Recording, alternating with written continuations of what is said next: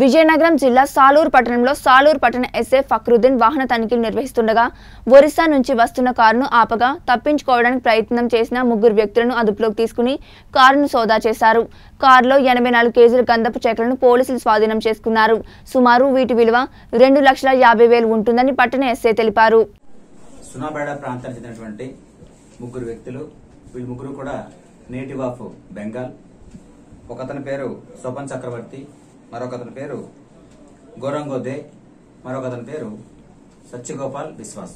ఈ ముగ్గురు కూడా సునాబేడలో వేరు వేరు ప్రొఫెషన్స్ ఉన్నాయి. ఒకతను కార్ డ్రైవరు అలాగే ఈ సర్పంచ్ చక్రవర్తి అనే ఆయన ఫ్యాబ్రికేషన్ వర్క్ చేస్తారు. ఈ గౌరవంగా అనే వ్యక్తి చేపల వ్యాపారం చేస్తారు.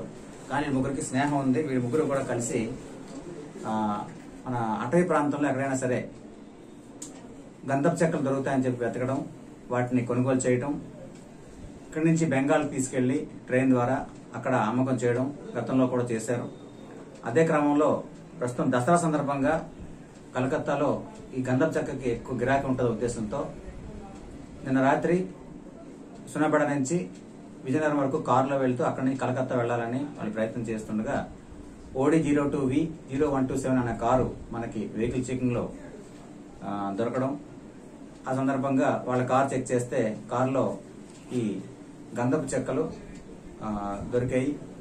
వాటిని చూస్తే రీసెంట్గా అక్కడ ఒక చెట్టును కొట్టి ఒకటి రెండు చెట్లను కొట్టి వాటిని ముక్కలుగా నరికి ప్యాక్ చేసి తీసుకొచ్చారు. మూడు మూడు బ్యాగ్ మూడు బాక్సులు అలాగే ఒక బ్యాగు చెక్కలు దొరకడం జరిగింది. ఈ చెక్కలన్నీ కూడా వెయిట్ చూస్తే సుమారు ఎనభై ఆరు కేజీలు వెయిట్ వచ్చింది.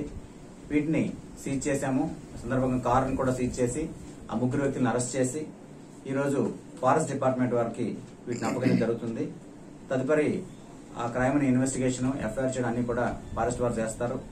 ఈ విషయాన్ని మా సిఏ గారు డిఎస్పీ గారు అలాగే ఎస్పీ గారి ద్వారా కూడా మాట్లాడి తదిన స- సూచనలు తీసుకొని వారు చెప్పిన ప్రకారంగా వీటిని ఫారెస్ట్ డిపార్ట్మెంట్కి అప్పగించడం జరుగుతుంది. ముగ్గురు వ్యక్తులు కూడా మా ఆధీనంలో ఉన్నారు ప్రస్తుతానికి. వాళ్ళని కూడా ఫారెస్ట్ డిపార్ట్మెంట్ అప్పగించడం జరుగుతుంది. ఒక కేజీ మూడు వేల రూపాయలు ఉంటుంది.